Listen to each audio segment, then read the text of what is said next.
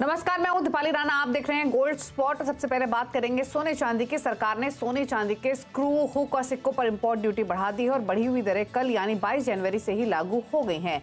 अचानक इस बढ़ोतरी के पीछे कारण क्या है? क्या है पूरी खबर? पहले इसे समझते हैं। चलते मेरे सहयोगी असीम मनचंदा के पास और उसके बाद तमाम एक्सपर्ट्स हमारे साथ मौजूद रहेंगे इसी खबर को एनालाइज करने के लिए। तो असीम, पहले तो बताइए, क्या डिटेल्स हैं और इस पूरी खबर से जुड़ी हुई? दीपाली गुड मॉर्निंग देखिए जो अभी सोने के स्क्रूज है हुक है सिल्वर के स्क्रूज हुक्स है, या फिर स्पेंट कैटलिस्ट है, या फिर कॉइन्स है, इनके ऊपर साढ़े बारह परसेंट की ड्यूटी लगती है, लेकिन सरकार ने अब इसको बढ़ाने का फैसला किया है। सरकार ने इसको बढ़ाकर ढाई परसेंट तक बढ़ा दिया है। अब इसके ऊपर पंद्रह परसेंट की ड्यूटी लगेगी। खासतौर पर अगर मैं ड्यूटी स्ट्रक्चर की बदलाव बात करूँ तो दो इसमें कंपोनेंट्स एड कंपोनेंट्स डाले गए हैं। पहला, दस का बेसिक कस्टम ड्यूटी जो लगता है, और दूसरा ऑल इन्वर्टेड ड्यूटी ड्रॉबैक सरकार ने एक ऐड किया है पाँच परसेंट का तो कुल मिलाकर के अब इनके ऊपर पंद्रह परसेंट की ड्यूटी लगेगी। और ये आज से ही लागू हो गई है, यानी कि अभी कोई भी स्क्रूज हुक या या सिल्वर फाइंडिंग्स को इम्पोर्ट इम्पोर्ट करेगा तो उसको ये ड्यूटी चुकानी पड़ेगी। सरकार के मुताबिक इस काफ़ी इम्पोर्ट जो है पिछले दिनों से बढ़ गया था तो उसको रोकने के लिए सरकार ने कदम उठाया और जो डोमेस्टिक इंडस्ट्री है, उसको सपोर्ट करने के लिए सरकार ने कदम उठाया और ये इम्पोर्ट ड्यूटी ढाई परसेंट के आसपास बढ़ा दी गई है। सिल्वर क्वाइंस स्क्रूज हुक और फाइंडिंग्स के ऊपर ओके. शुक्रिया सीम आपका ये डिटेल्स बताने के लिए और हमारे साथ प्रो इंटेलिडेट सर्विसेज़ के फाउंडर दिनेश सोमानी है, बॉम्बे ज्वेलर एसोसिएशन के वीपी कुमार जैन है, एनर्जी एक्सपर्ट आगे हमारे साथ नरेंद्र तनेजा भी मौजूद रहेंगे, लेकिन पहले इसी खबर पर बातचीत करते हैं जो डिटेल्स हमारे साथ अभी भी असीम ने शेयर की हैं। कुमार जैन साहब हमारे साथ बने हुए हैं। जैन साहब, काफ़ी सारी चीज़ों पर ये बदलाव हुआ है। जैसे असीम भी हमारे साथ अभी डिटेल्स शेयर कर रहे थे, ना ही सिर्फ़ कस्टम ड्यूटी बढ़ाई गई है, बल्कि जो एग्रीकल्चर इंफ्रास्ट्रक्चर डेवलपमेंट सेस है, उसको भी इंक्रीज किया गया है। हुक्स क्लिप्स जो भी कंपोनेंट यूज़ होते हैं ज्वेलरी मेकिंग पर सब इसके अंडर आएँगे। तो पहले तो ये जानना चाहेंगे कि अचानक इस बढ़ोतरी के पीछे कारण क्या रहा और क्या इम्पैक्ट इंडस्ट्री पर आप देखते हैं? एक बहुत बड़ा गैप था, साढ़े ग्यारह परसेंट ड्यूटी थी। वो ड्यूटी बढ़ाकर सरकार ने पंद्रह परसेंट कर दी है। अब जैसे कॉइन्स है सिल्वर हुक है स्क्रू है, इस पे इम्पोर्ट ड्यूटी कम थी। सरकार को ये बाद में समझ में आया कि नहीं भाई, ये से भी पार्ट ऑफ़ ऑर्नामेंट्स है। इसके लिए इम्पोर्ट ड्यूटी अगर गोल्ड पे लगती है तो उसी तरह इस आइटम पे भी लगनी चाहिए। सिर्फ़ मेकिंग का जो बेनिफिट है, वो पब्लिक को नहीं मिलना चाहिए। एक बड़ा गैप था, वो गैप खत्म हो गया अभी। और इम्पोर्ट ड्यूटी पंद्रह परसेंट, ग्यारह परसेंट से साढ़े ग्यारह परसेंट, साढ़े बारह परसेंट से पंद्रह परसेंट बढ़ा दी गई है। अब वो बेनिफिट जो भाव का जो बेनिफिट था, वो पब्लिक जो ये चीज़ बनाते थे कॉइन्स वगैरह, उनको ये बेनिफिट नहीं मिलेगा। उनको भी मार्केट रेट से गोल्ड लेना पड़ेगा और वही रेट से ही उनको ड्यूटी लगेगी। हाँ जैन साहब, एक चीज़ बताइए, अगर हम ओवरऑल पहले हम गोल्ड की बात करते हैं, अगर हम ओवरऑल गोल्ड की डिमांड करें, फिर चाहे वो कॉइन्स हो ज्वेलरी हो, या फिर गोल्ड के, अगर कोई हुक इस्तेमाल करता है इस, कितना रेशियो था इस डिमांड का? और इस डिमांड पर आप कुछ इम्पैक्ट देख रहे हैं क्या गोल्ड कॉइन्स की, या फिर जो भी, जहाँ भी इन कंपोनेंट्स का इस्तेमाल होता है? कॉइन का एक बहुत बड़ी डिमांड थी। अभी जैसे भी बहुत सारे फेस्टिव सीज़न आए राम का आ, अभी आने वाले समय में भी और तेज़ी आएगी। अभी जो अपने यहाँ पे यहाँ अभी अक्षय तिथिया आ रहा है जो सबसे बड़ी डिमांड लेके आएगा सोने की अक्षय तिथिया तो इस तरह से कॉइन की इक्वली डिमांड रहती है। हमेशा फेस्टिव सीज़न पे एक ज़बरदस्त डिमांड रहती है और करीबन 50 परसेंट कॉइन बिकते हैं। और 50 परसेंट ज्वेलरी बिकती है। तो लगभग बहुत बड़ा नुकसान सरकार को होता है। एक बहुत बड़ा गैप था, जो गैप अभी रिफिल हो जाएगा। और भाव में जो डिफरेंस था, वो डिफरेंस खत्म हो जाएगा। डिस्काउंट रेट जो था, वो एकदम खत्म हो जाएगा। इम्पोर्ट ड्यूटी डेफिनेटली कंज्यूमर्स को तो पास ऑन होगी ना। जो सिक्का होगा गोल्ड कॉइन जो खरीदते हैं लोग इस इम्पोर्ट ड्यूटी बढ़ने के बाद उसकी कीमत तो ज़्यादा हो जाएगी ना। तो मेरा मैं सिर्फ़ आपसे ये पूछना चाह रही थी कि कंज्यूमर डिमांड पर कुछ असर आप देखते हैं या फिर आपको लगता है कि इस बढ़ोतरी का कंज्यूमर डिमांड पे असर नहीं पड़ेगा? रेट डिफरेंस आ रहा है रेट का डिफरेंस सोना जो भाव बढ़ा रहे हैं उससे लोगों का दिमाग अभी ब्लैंक हो गया। लोगों के दिमाग में एक ही बात घुस गई है कि भाई सोना बढ़ रहा है। सोना बढ़ने के साथ में आ, सोना बढ़ने के साथ में जो कॉस्ट लगे बढ़ेगी उससे सोने के भाव से फ़ायदा हो जाएगा। अभी सोना तिरसठ साढ़े तिरसठ हज़ार के आस पास चल रहा है। जो सोना अट्ठावन सत्तावन के आसपास था वो तिरसठ तिरसठ और साढ़े तिरसठ हज़ार चल रहा है। हम्म। Okay okay. चलिए, शुक्रिया आपका, जैन साहब, अपने व्यूज़ देने के लिए क्विकली एक भाव पर और मैं राय ले लूँ, उसके बाद कच्चे तेल की बात करेंगे। नरेंद्र तनेजा भी हमारे साथ बने हुए हैं। दिनेश जी, एक प्राइसेस पर भी आउटलुक आपका गोल्ड पर सबसे पहले तो क्या राय रहेगी? इंटरनेशनल मार्केट्स में 2030 डॉलर के आसपास प्राइसेस फ़िलहाल तो होल्ड कर रहे हैं बट क्या देख रहे हैं नियर टर्म रेंज और क्या स्ट्रैटेजी रहेगी? ये कल जो गिरे है, इस कारण से गिरे है कि वहाँ पर जो यूएस में इंटरेस्ट रेट बढ़ने की जो बात चल रही थी, मार्च तक की वो परसेंटेज पहले जो तिहत्तर परसेंट था वो घटकर पैंसठ हुआ और कल वो चालीस परसेंट की संभावना जताई जा रही थी, जिसके चलते शार्प फॉल हमें देखने मिला। लेकिन गोल्ड में ये कहूँगा आपको, आज नहीं आने वाला पूरा क्वार्टर बाय वन डिप्स ही रहेगा। नीचे में नीचे मुझे लगता है इकसठ तीन सौ पचास इकसठ तीन सौ साठ, ये बॉटम बेस रेट्स रहने चाहिए। अपसाइड हमें तिरसठ, चार सौ के लेवल देखने मिल सकते हैं। और अगर मैं शॉर्ट टर्म या वेरी शॉर्ट टर्म की बात कहूँ तो मुझे लगता है कि इकसठ, नौ सौ, इकसठ, नौ सौ बीस के आसपास गोल्ड खरीदारी करनी चाहिए। बासठ, तीन सौ, बासठ, चार सौ पचास के इसमें लक्ष्य देखे जा सकते हैं। ठीक है। बात अब कर लेते हैं कच्चे तेल की, जहाँ पर लगातार हमने 80 के नीचे भाव ब्रेंड के बनते हुए देखे थे। फ़िलहाल 80 डॉलर के आसपास ब्रेंड आ चुका है और काफ़ी सारी खबरें हैं जो कि ड्राइव कर रही हैं। एक तरफ़ ग्लोबल डिमांड आउटलुक ओपेक ने आईए ने रेस किया है। दूसरी तरफ़ मिडिल ईस्ट की टेंशन सप्लाई वरीज की एक तरफ़ चिंता बनी हुई, जैसे हमने Russian oil fuel export terminal पर अटैक आते हुए देखा है। तो ये सारे ट्रिगर्स कैसे प्ले होंगे? क्या आउटलुक रहेगा? इस पर करते हैं बातचीत। हमारे साथ एनर्जी एक्सपर्ट नरेंद्र तनेजा मौजूद हैं। मिस्टर तनेजा, पहले तो जो जो भी खबरें फ़िलहाल कच्चे तेल को ड्राइव कर रही हैं, आप कैसे उन्हें रीड करते हैं, कैसे एनालाइज करते हैं और क्या इम्पैक्ट यहाँ से गोइंग फॉरवर्ड देखते हैं? देखिए, अभी जो कीमतों में आपने देखा है, जिस तरह की रिपोर्ट्स आ रही हैं प्रोजेक्शंस आ रहे हैं आईईए की तरफ़ से ओपेक की तरफ़ से, एक तो और जगह से भी आए हैं कि डिमांड जो है वो बढ़ने वाली है। तो उसको लेके मार्केट ज़ाहिर है कि रिएक्ट करता है और जब ऐसी बात होती है तो फिर कीमतें ऊपर जाती हैं। लेकिन मुझे नहीं लगता कि अभी ऐसा कुछ होने वाला है जिससे कोई ड्रामेटिकली या सिग्निफिकेंटली कोई डिमांड में बढ़ोतरी हो जाएगी। वन मिलियन की हो जाएगी, लेकिन उसके लिए सप्लाई काफ़ी है। हमने देखा है कि रूस का तेल लगातार बाज़ार में आ रहा है। हम ये भी अब काफ़ी दिनों से सुनाई में आ रहा है, आज दो महीने सुनाई में आ रहा है कि शायद भारत जो है वो ईरान से तेल मंगाना शुरू कर देगा। उसका मतलब ये हुआ कि ईरान का जो सप्लाई है इंटरनेशनल जो सप्लाई सिस्टम है, उसमें ज़ाहिर तरीके से बढ़ जाएगी, क्योंकि चीन को तो वो पहले ही कर रहा है, जो दूसरा सबसे बड़ा तेल का बाज़ार है। और भारत तीसरा सबसे बड़ा बाज़ार है।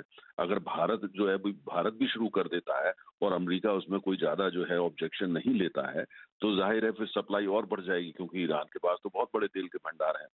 तो सप्लाई साइड से जो है सिचुएशन जो है कंफर्टेबल है और ऐसा लग रहा है कि जैसे जियो पॉलिटिक्स के हिसाब से जो बहुत बड़ा फैक्टर होता है कि मिडिल ईस्ट में सिचुएशन फ़िलहाल जो है वो एस्केलेट नहीं हो रही है और जहाँ तक यूक्रेन का मसला है, वो काफ़ी हद तक जो है वहीं का वहीं है, जहाँ पहले था। तो अब जो कीमतें तभी बढ़ सकती है जब डिमांड बढ़े। अब डिमांड भी सिग्निफिकेंटली बढ़नी चाहिए। 1.2 मिलियन बैरल्स 1 मिलियन बैरल जिसकी बातचीत आई है या ओपेक कर रहे हैं, उससे मुझे नहीं लगता कि कीमतों में फ़र्क आएगा। इसलिए कीमतें जो है, वो अस्सी डॉलर के इर्द गिर्द घूमेंगी। कभी नीचे चली जाएँगी, बहत्तर भी हो जाएँगी, सत्तर भी हो जाएँगी और दूसरी तरफ़ जो है वो पिचासी, छियासी भी हो जाएँगी। लेकिन अगर आप औसत निकाल के चलेंगे तो वो अस्सी डॉलर के आसपास आएगा जहाँ तक ब्रेंट की बात है। और भारत इंडियन बास्केट जो होती है वो थोड़ा सा हमेशा दो डॉलर के करीब कम होती है, क्योंकि इवन सऊदी अरब ने जो बहुत लंबे समय के बाद भारत वगैरह को कंसेशन देना शुरू किया है, इससे पहले तो वो भारत से एशियन प्रीमियम करके दो डॉलर पर बैरल एक्स्ट्रा लेता था। तो इसलिए सिचुएशन बदल रही है, और जो खासतौर से जो बड़े इंपोर्टेंट है भारत जैसे, अब जो है वो उसको लेवरेज कर सकते हैं, क्योंकि उन जो बड़े प्रोड्यूसर हैं, उनको भारत जैसे बाज़ार की ज़रूरत है, चीन जैसे बाज़ार की ज़रूरत है, लेकिन धरातल पे जो सबसे बड़ा फैक्टर तेल की कीमत को असर कर रहा है, वो है चीन।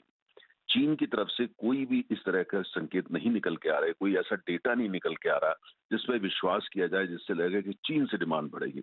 और जब तक चीन से डिमांड जो है वो नहीं बढ़ती है बहुत बड़ा कीमतों में परिवर्तन आने वाला नहीं है और फ़िलहाल अभी जो डेटा है, जिस तरह के संकेत चीन से निकल के आ रहे हैं, अभी लगता नहीं कि चीन की तरफ़ से जो कच्चे तेल की डिमांड है, वो बढ़ने वाली और जब तक ऐसा नहीं होता है तो कीमतों में उछाल आ जाएगा, ऐसा मुझे नज़र नहीं आता। या कोई जियो ट्रिगर फ़िलहाल जो कुछ है, वो मार्केट उसको एब्जॉर्ब कर चुकी है। नया कुछ हो जाए, अभी ऐसा कुछ नज़र नहीं आता। तो इसलिए 80 के आसपास कीमतें घूमेंगी 70 पे आ जाए तो खुशी मत बनाइए पिचासी पे हो जाए तो परेशान मत होइए।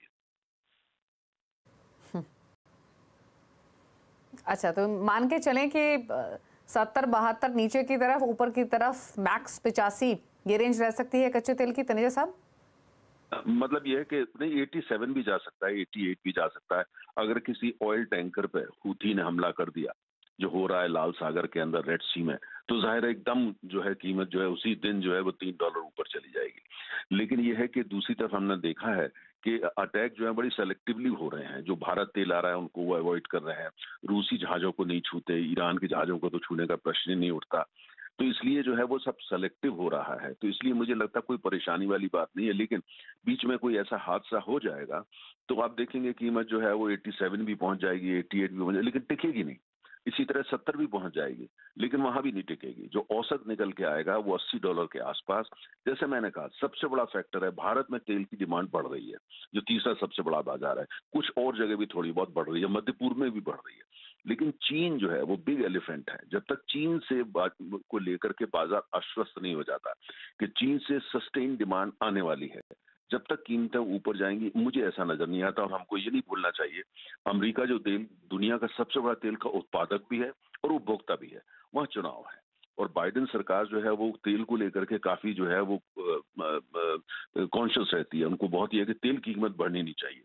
ये ज़ाहिर है, अगर तेल 90 डॉलर भी पहुँच गया तो बाइडेन साहब इलेक्शन हार जाएँगे। है ना? और दूसरी में अमेरिका में इतनी ताकत है कि वो सबको प्रभावित कर सकता है, बाज़ार को भी प्रभावित करता है, हमें भूलना नहीं चाहिए। तेल का बाज़ार डॉलर में चलता है और डॉलर अमेरिका की करेंसी है। तो कहीं ना कहीं उससे उनको जो है एक हैंडल मिलता है और दूसरी तरफ़ उनकी कूटनीति। तो इसलिए मुझे ऐसा लगता है कि अभी इस साल जो है तेल जो है अस्सी डॉलर के आसपास घूमेगा। अमेरिका की कोशिश होगी तेल को अस्सी डॉलर ऊपर ना जाने दिया जाए, उनके क्योंकि वहाँ इलेक्शन है। और दूसरी तरफ़ चीन से एक एक डिमांड आना शुरू हो जाएगी। मुझे ऐसा नज़र नहीं आता। चीन की अर्थव्यवस्था रिवर्स गियर पे है। चीन के राष्ट्रपति जो है, उन्होंने ये, उनकी प्राथमिकता ये है कि जो चीनी कम्युनिस्ट पार्टी है, उसको सत्ता में रखें और उसको पूरी तरीके से मार्क्सवादी बनाए। वहाँ पे आर्थिक विकास हो, बहुत ज़्यादा ग्रोथ हो जाए, बहुत डिमांड, ये फ़िलहाल अभी चीनी राष्ट्रपति की प्रायोरिटी नहीं है। अगर ऐसा नहीं है तो डिमांड कहाँ से आ जाएगी? इसलिए डिमांड बढ़ेगी चीन से, लगता नहीं। और अमेरिका में इलेक्शन, भारत में इलेक्शन, इंडोनेशिया में इलेक्शन, मैक्सिको में इलेक्शन ताइवान में आधी दुनिया में चुनाव है। तो इसलिए मुझे नहीं लगता कि चीन की तेल की कीमत कहीं ऊपर जाने वाली है। अस्सी डॉलर अगर आप लेके चलते हैं तो आप बिल्कुल सेफ़ है। पिछहत्तर भी होगा, सत्तर भी होगा, अड़सठ भी होगा, पिचासी भी होगा, छियासी भी होगा। लेकिन औसत जो है, वो अठहत्तर से लेकर अस्सी डॉलर के आसपास रहेगा ब्रेड का। ओके। चलिए, शुक्रिया तरीजा साहब आने के लिए शो में और अपने व्यूज़ देने के लिए जो डेवलपमेंट्स हो रही हैं उनको भी एनालाइज करने के लिए। रुकने, इसी के साथ एक ब्रेक के लिए देश सामान्य हमारे साथ बने हुए हैं। ब्रेक के पास स्ट्रैटेजीज पर तो करेंगे फोकस लेकिन साथ ही बात करेंगे जीरे की भी, और जीरे में हमने सत्ताईस हज़ार के नीचे भाव आते हुए देखा है। दिनेश ट्रेडिंग कंपनी के प्रोपरेटर दिनेश भट्टर भी हमारे साथ मौजूद रहेंगे। एक ब्रेक के बाद समझेंगे उनसे फंडामेंटल्स जीरे के और प्राइसेस पर एक आउटलुक चलो वापस आते हैं।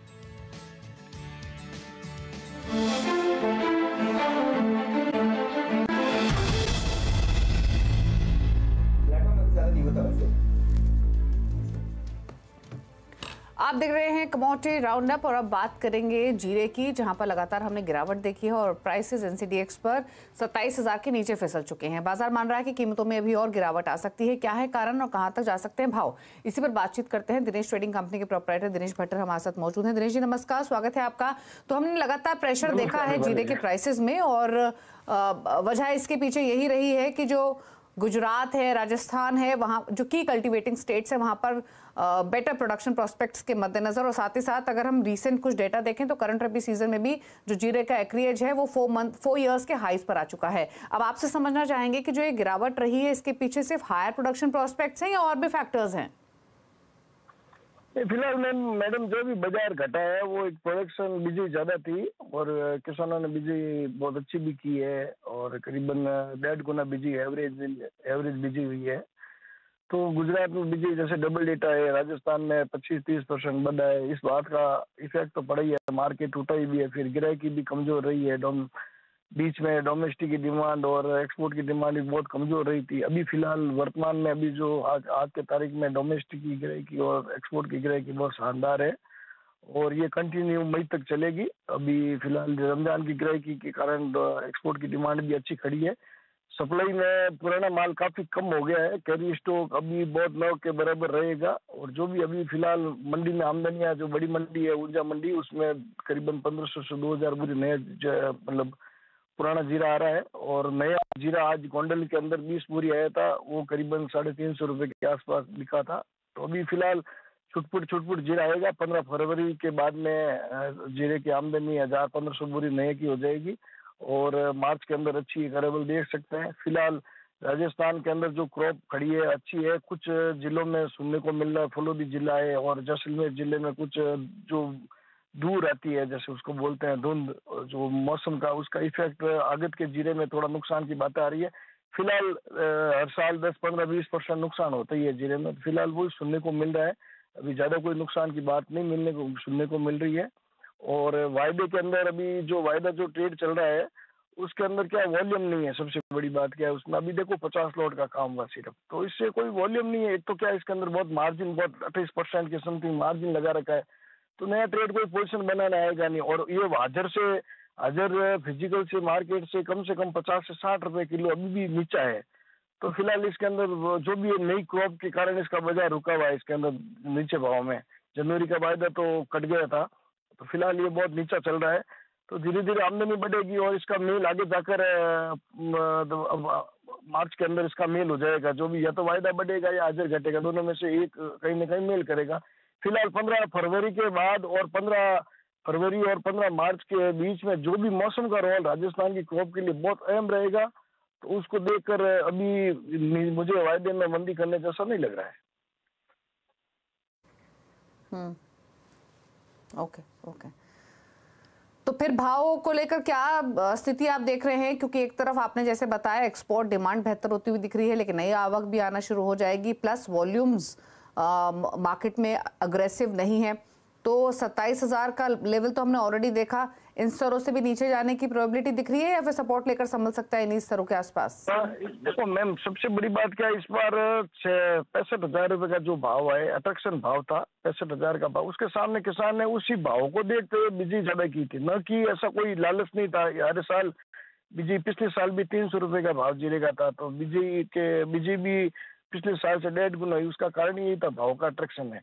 तो भाव अभी जो पिछले साल से भी काफ़ी नीचा चल रहा है, वायदे के हिसाब से, जैसे वायदे का भाव सत्ताईस हज़ार का है, उसके सामने कंपेयर चालीस रुपए किलो का खर्चा आता है एनसीडीएक्स के डिमेट करने का। दो सौ तीस रुपए का भाव का वायदा मिल ही रहा है कि इन भावों में अगर सब फ़सल आती है तो किसान बेचता है, नहीं बेच, क्योंकि अभी जो फ़सल है, वो ही किसान ही सप्लायर रहेगा इसका अब किसान का रुख रहेगा। वायदे में तो क्या है दो हज़ार टन का सौदा है। फ़सल है चार से साढ़े चार लाख टन की।